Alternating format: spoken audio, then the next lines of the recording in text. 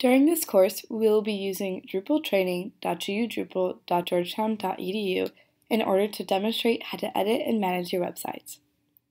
In order to log in, add SAML underscore login to the end of the URL. This will work for any department site so long as you have permission by the admins. It should bring you to a page that asks you to enter your NetID and password. After you've done so, it will bring you to a page that looks like this, with your NetID and how long you've been a member for. If the sidebar doesn't appear, click on the wrench in the upper left-hand corner.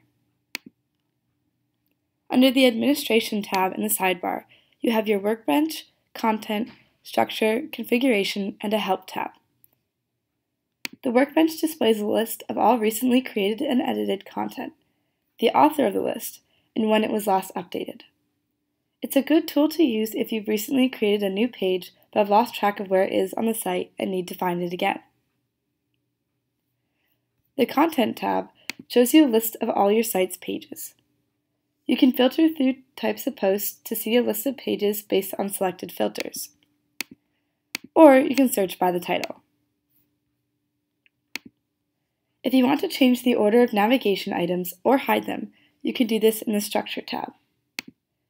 To reorder links, click on Menus, and under the Operations column, click List Links. A list of all pages on your site's navigation will pop up, and you can reorder them by dragging and dropping items. To make an item fall under a different parent item, drag the item below and to the right. In order to undo this, drag it up and to the left. To save all changes, make sure you go to the bottom and hit Save Configuration.